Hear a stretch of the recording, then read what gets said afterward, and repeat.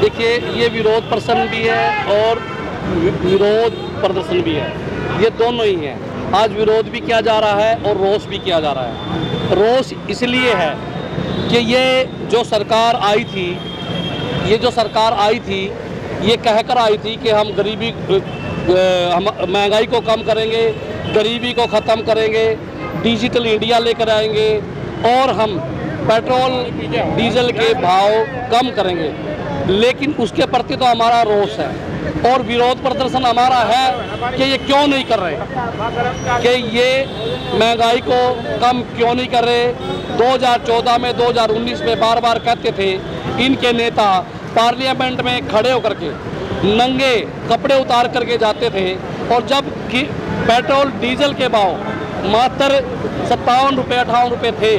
उस समय ये लोग नंगे कपड़े उतार करके इनके पूरे वरिष्ठ नेता पार्लियामेंट का घेराव करते थे और आज डीजल और पेट्रोल के भाव सौ से ऊपर जा चुके हैं। अलग अलग क्षेत्रों में अलग अलग हरियाणा के अंदर लगभग डीजल नब्बे के आसपास है और पेट्रोल सौ के आसपास है।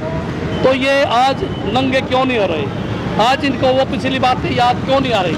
उसके प्रति हमारा रोष है और विरोध इसलिए है कि ये तुरंत प्रभाव से इन बढ़ी हुई कीमतों को वापस करें, रोज़गार का प्रावधान करें।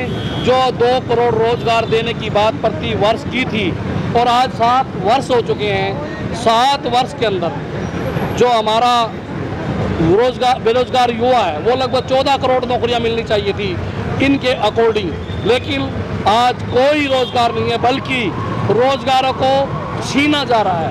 आज रोजगारों को छीना जा रहा है।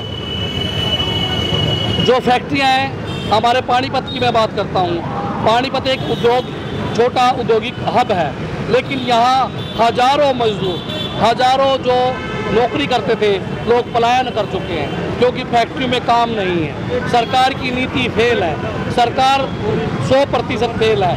केवल बात करती है इनके लोग सोशल मीडिया में काम बात करते हैं। इसके अलावा इनके पास कुछ नहीं है। ये लोग कपड़े बदलते हैं और बातें बदलते हैं। केवल इनका काम कपड़े बदलना और बातें बदलना है और ये सच्चाई का कोई काम नहीं करते।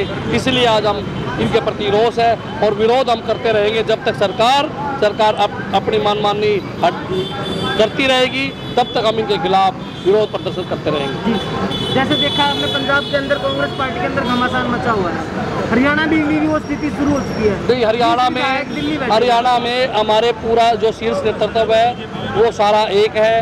पहले भी एक था। जब चुनाव हुए वो पचहत्तर पार की बात करते थे।